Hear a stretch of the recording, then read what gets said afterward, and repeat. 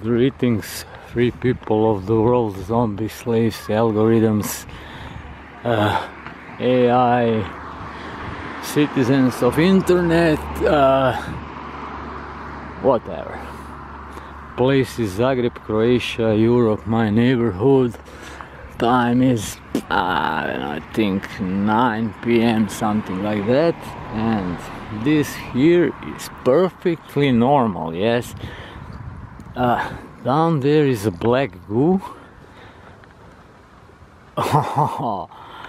this is not pink, this is purple. And above it is a pink god fingertip. Yeah, perfectly normal. Mm -hmm.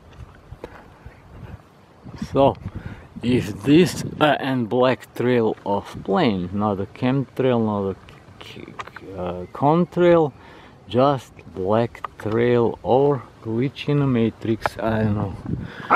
Anyhow same as here. Shadow